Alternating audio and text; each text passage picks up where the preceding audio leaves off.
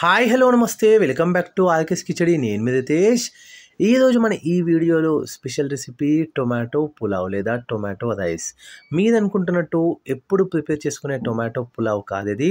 ఈ tomato rice యొక్క procedure అనేది కొంచెం డిఫరెంట్గా ఉండబోతుంది. అండ్ ఇందులో యూస్ చేసిన ప్రతి ఇంగ్రీడియంట్ కూడా ఈ పులావ్ని మరింత రుచిగా చేయడం గ్యారంటీ. మరి లేట్ చేయకుండా లెట్ స్టార్ట్ ముందుగా ఒక చిన్న ప్రెషర్ కుక్కర్ తీసుకుంటున్నాను నేను. అందులో ఒక పావు కప్పు వరకు నూనెని వేడి చేసుకొని చిన్న బిర్యానీ ఆకుతో పాటు రెండు లవంగాలు రెండు ఇలాచీలు సగం స్పూన్ సాజీరా చిన్న దాల్చిన చెక్కని వేసుకొని ఒక్కసారి బాగా కలిపిన తర్వాత ఒకటి లేదా రెండు రెబ్బల కరివేపాకుని కూడా వేసుకొని మంచిగా చిట్టపటలాడిన తర్వాత ఇప్పుడు మీడియం సైజ్ ఆనియన్ ఈ విధంగా పీసెస్ కట్ చేసుకొని ఇందులో యాడ్ చేస్తున్నాను. చిన్నవైతే రెండు ఆనియన్స్ మీరు తీసుకోవచ్చు. ఈ విధంగా కలుపుతూ లో ఫ్లేమ్ మీడియం ఫ్లేమ్లో అడ్జస్ట్ చేస్తూ ఈ ఆనియన్స్ పచ్చివాసన పోయేంత వరకు మనం వేయించుకోవాలి. ఎక్కువ రంగు మారొద్దు. ఇప్పుడు మీరు చూడొచ్చు లైట్గా పచ్చివాసన పోవడం స్టార్ట్ అయిన తర్వాత రెండు లేదా మూడు ఎండుమిరపకాయలని ఇందులో యాడ్ చేస్తున్నాను.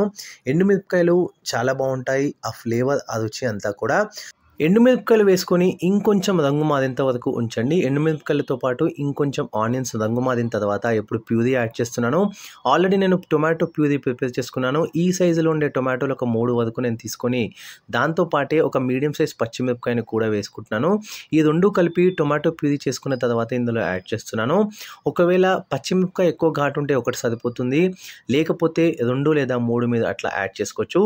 ఇప్పుడు టొమాటో ప్యూరీ వేసుకొని బాగా కలుపుకొని టొమాటో ప్యూరి యొక్క ఆ పచ్చి స్మెల్ అంతా కూడా పచ్చివాసన పోయేంత వరకు మనం ఒక టూ టు త్రీ మినిట్స్ పాటు ఈ విధంగా లో ఫ్లేమ్ మీడియం ఫ్లేమ్లో అడ్జస్ట్ చేస్తూ కుక్ చేసుకోవాలి. టొమాటో యొక్క పచ్చివాసన అంతా కూడా పోతుంది.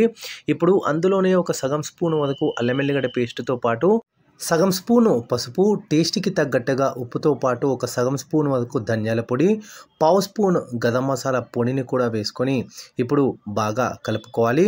ఈ ఇంగ్రీడియంట్స్ అన్నీ కూడా ఈ పులావ్ యొక్క రుచిని మరింత పెంచడం గ్యారంటీ. సో ధనియాల పొడి అయితే మరీ ముఖ్యంగా చాలా అంటే చాలా సూపర్గా ఉంటుంది.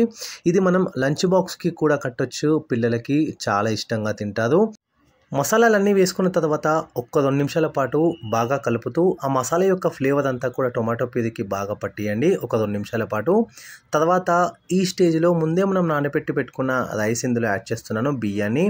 సోనా మసూరి రైస్ తీసుకుంటున్నాను నేను. మీరు కావాలనుకుంటే బాస్మతి రైస్ కూడా యూస్ చేసుకోవచ్చు. దేంతోనైనా కూడా చాలా టేస్టీగా అవుతుంది ఈ టొమాటో పులావ్ అనేది. ఇప్పుడు బియ్యాన్ని యాడ్ చేసుకున్న తర్వాత ఒక నిమిషం పాటు స్టవ్ పైన అట్లానే ఉంచండి మధ్య మధ్యలో కలుపుతూ. తర్వాత రెండు గ్లాసుల నీళ్ళని యాడ్ చేసుకుంటున్నాను. సో వన్ గ్లాస్ వరకు నేను బియ్యాన్ని తీసుకున్నాను. అరౌండ్ ఇది టూ కప్స్ వరకు ఉంటుంది. దానికి తగ్గట్టుగా నేను ఒక రెండు గ్లాసుల వరకు నీళ్ళని యాడ్ చేసుకుంటున్నాను. ఇప్పుడు బాగా కలిపిన తర్వాత అడ్జస్ట్ చేసుకోండి సాల్ట్ ఏమైనా తక్కువ ఉంటే కనుక ఇప్పుడు మూత అనేది పెట్టేసుకొని ప్రెషర్ కుక్కర్ది ఒక టూ టు త్రీ విజిల్స్ అయ్యేంత వరకు మనం వెయిట్ చేయాలి. తర్వాత మూత అనేది ఓపెన్ చేస్తున్నాను ఒక మూడు విజిల్స్ తర్వాత ఇప్పుడు మీరు చూడొచ్చు.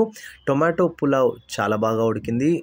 ఈ స్టేజ్లో కొంచెం కొత్తిమీరతో గార్నిష్ చేసుకొని సర్వ్ చేసుకున్నట్టయితే ఎంతో టేస్టీగా ఉండే టొమాటో పులావ్ రెడీ అయిపోతుంది ఇది వాళ్ళ వీడియో.